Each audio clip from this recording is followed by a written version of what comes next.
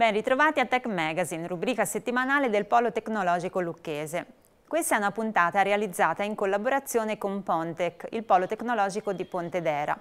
Ed è proprio da Pontedera in collegamento il nostro ospite, che saluto, si tratta di Marcello Chiurazzi. Ciao Marcello.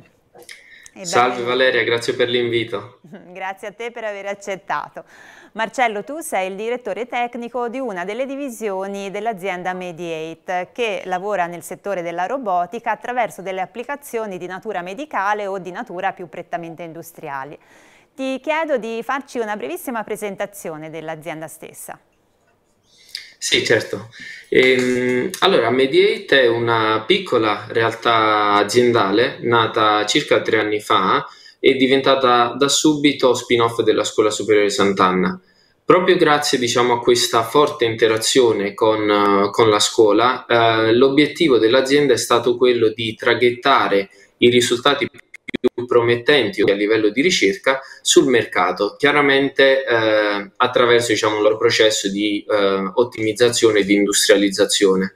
Diciamo che l'obiettivo di, della spin-off è quello di umanizzare la robotica, rendendola diciamo, di facile utilizzo per l'operatore finale. Ecco, eh, prima ho accennato, ehm, ho detto che la, ci sono diverse divisioni all'interno dell'azienda, ti chiederei, in particolare tre se non mi sbaglio, ti chiederei di farci degli esempi di applicazioni eh, realizzate nell'ambito delle prime due divisioni.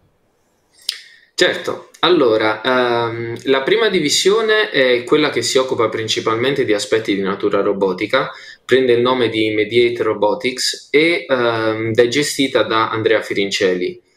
L'applicazione di cui mi piacerebbe parlare eh, è Mobot, lo, un, un, robot mobile che abbiamo sviluppato all'interno di un borgo toscano per ehm, la consegna a domicilio di beni di eh, primaria necessità.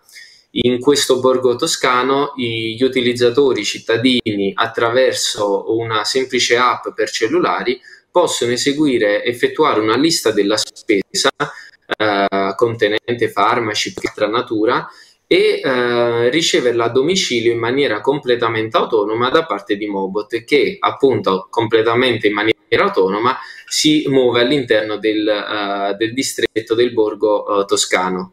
La seconda divisione invece è quella più eh, concentrata su aspetti di natura medica, eh, prende il nome di Mediate Medical ed è gestita invece da Gastone Sciuti, che è uno dei fondatori dell'azienda.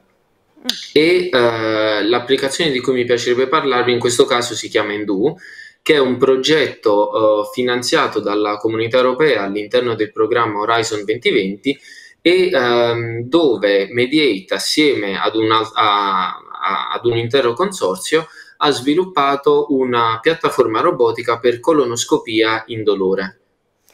Ecco, molto interessante, molto utile. Eh, Devo dire che la mia simpatia va al robottino che consegna la spesa, anche se ovviamente è molto utile anche la seconda applicazione che avete sviluppato.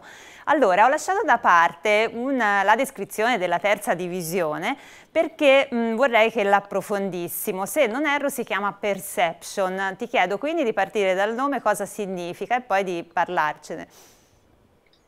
Certo, allora, diciamo che eh, la divisione Perception, che è quella poi che è gestita da me, ehm, vuol dire percezione in italiano. Quello che noi abbiamo visto lavorando nel mondo della robotica è che chiaramente ad oggi eh, continuare a parlare di robotica collaborativa, in cui quindi l'operatore umano si trova ehm, a collaborare, a cooperare con eh, l'elemento robotico, è, ehm, per fare un, un, qualcosa del genere è necessario garantire la sicurezza da parte del, verso la componente umana. Per questo motivo quello che noi stiamo sviluppando eh, già da un po' di tempo è una vera e propria uh, pelle sensorizzata con cui andare a rivestire il robot al fine di um, permettere al robot stesso di essere a conoscenza dell'ambiente circostante, andando così ad evitare um, collisioni o semplicemente eh, situazioni potenzialmente critiche uh, per la componente umana, per l'operatore. E eh, chiaramente diciamo questo è un progetto ad ampio respiro quindi eh, ci vorrà un po' di tempo per iniziare ad avere i primi prototipi eh, realmente funzionanti in maniera robusta, tuttavia ci ha permesso di ehm, sviluppare e integrare nuove eh, tecnologie come appunto quella di eh, ExtraSense, che è una tecnologia a base capacitiva utilizzata per l'interazione appunto con eh, l'operatore, con l'utente. Mi piacerebbe che tu spiegassi la tecnologia ExtraSense anche attraverso l'ausilio di alcune immagini, quindi chiedo alla regia di mandarle in onda. Prego.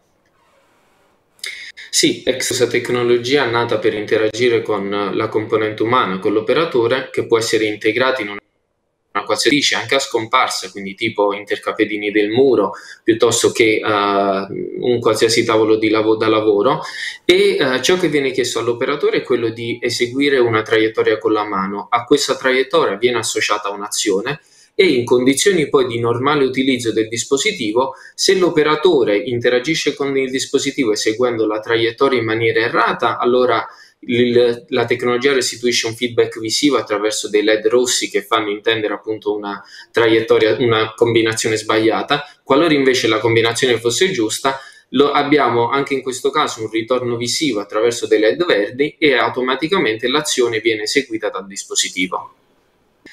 Chiaramente quindi ExtraSense eh, si avvantaggia di tutto il progresso eh, tecnologico attuale ehm, attraverso appunto tutti quei dispositivi smart collegati in rete come ad esempio luci piuttosto che eh, sistemi di condizionamento piuttosto che sistemi di allarme per dare la possibilità all'utente così come diciamo un maestro di orchestra di controllare i vari dispositivi eh, all'interno appunto della propria abitazione con il semplice movimento della mano.